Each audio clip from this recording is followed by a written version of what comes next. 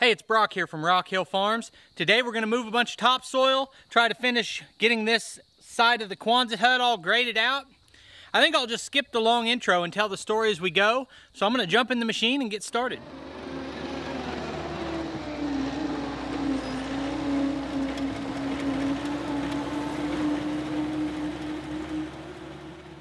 I've got a lot of dirt to move on this project, but before I really get into it, I've got to share a really funny clip of my grandson trying to give me directions on the walkie-talkies. He's five years old, by the way. Are you there? I'm coming back. You're coming outside? I am. Roger, Dodger. I'll see you on the flip-flop. Okay, Papa. Roger! Are you okay? Doing good out here. Short stack. Roger! Roger! He says Roger a lot. Are you outside, Roger? Roger?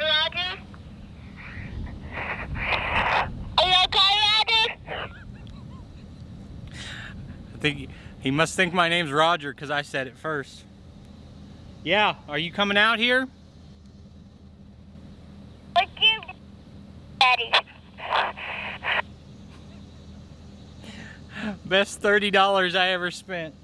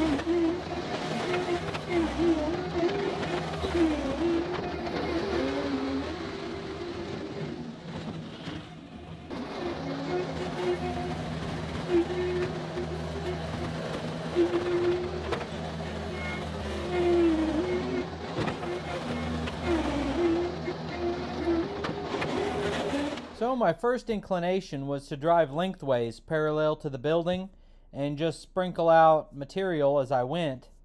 But I quickly realized after one pass that that wasn't going to take off the incline.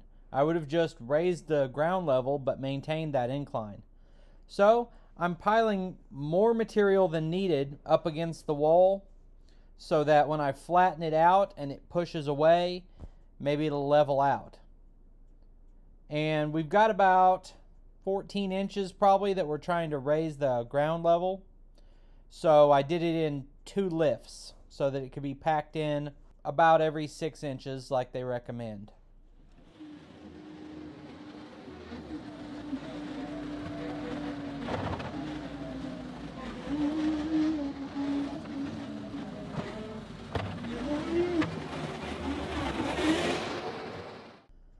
A lot of you might have been looking forward to an update on the stump project, but it's actually still smoking, and I wanted to let it cool off another day before working on that. The only update I'm going to give you today is that it did not completely get rid of the stump, and I have a new plan for what I'm going to do next.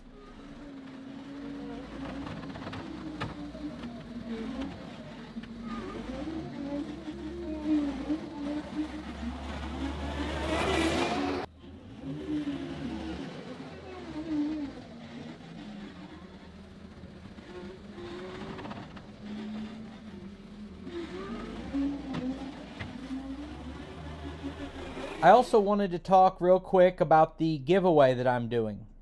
Artillian has donated some products for me to give away on the channel to celebrate the fact I reached 20,000 subscribers pretty soon.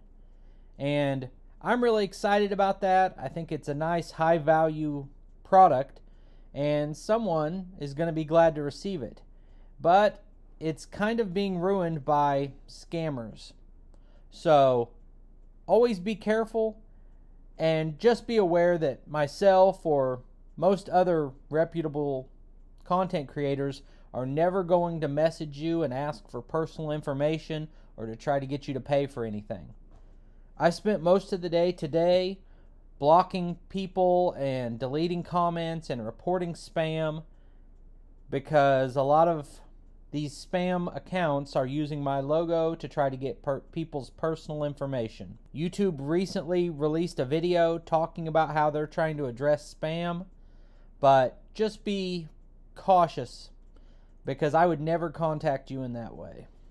When I give a product away on the channel, I announce the date that the giveaway will happen. In this case, August 15th. So anything you see before then is fake. And I also announce the winner in a video so that you know and everyone knows exactly what happened with the giveaway.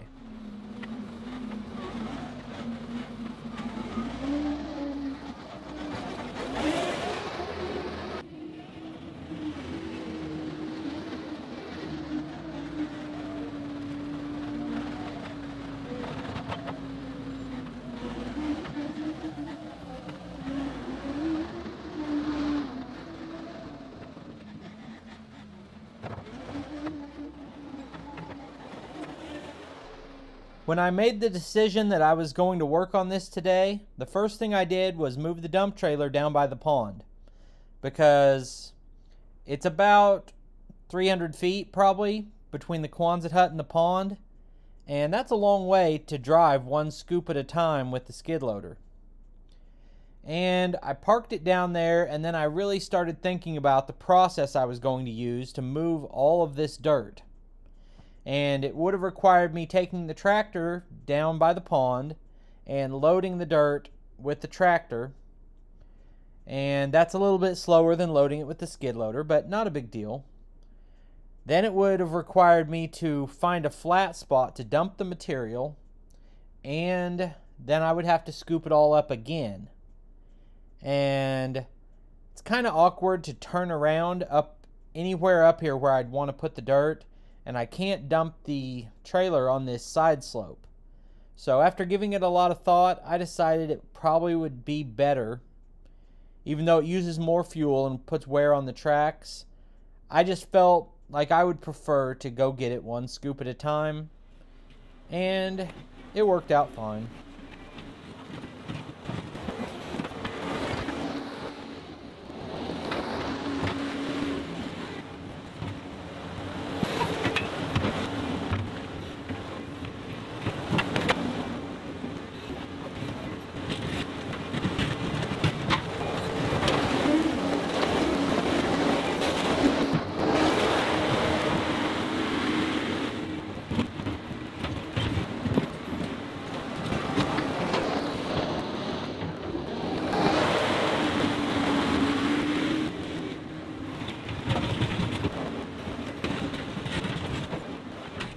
If you were really skilled at this type of work, you probably could have done this entire project in one day, where I've stretched it out into three days and three videos to take what was a really steep rocky slope and turn it into an area where I can plant grass.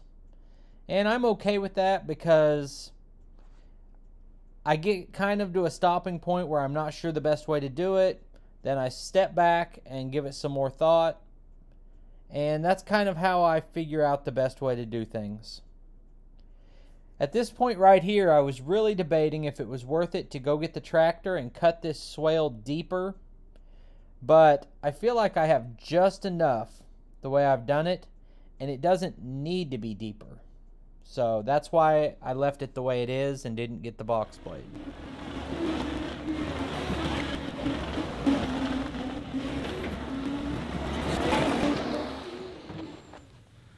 Alright guys, you tell me.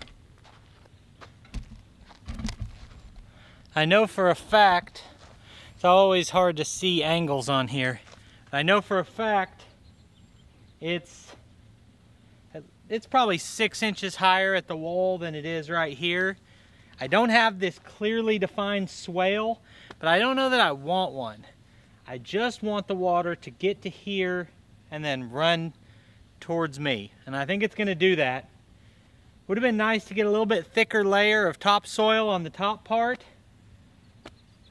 But by the time, if I added six inches of topsoil, my, my cutout would be gone. So I'm gonna roll with it the way it is. I'm gonna go see, I've gotta go get carpet and plywood for the shop. I'm gonna see if I can pick up some grass seed and some straw and come back and finish this up. Well guys, I just said that I was going to try to get this seeded tonight before it got dark, but that didn't happen. They didn't have a loader at the lumber yard and it just, it took forever to get there and back. But the hard part's done. The grading is done. I think this is gonna drain. I'll throw the grass seed and the straw out tomorrow and check another one off the list. I appreciate you taking time to watch the video. I'll put links on the screen to a couple more of our videos and I'll see you next time.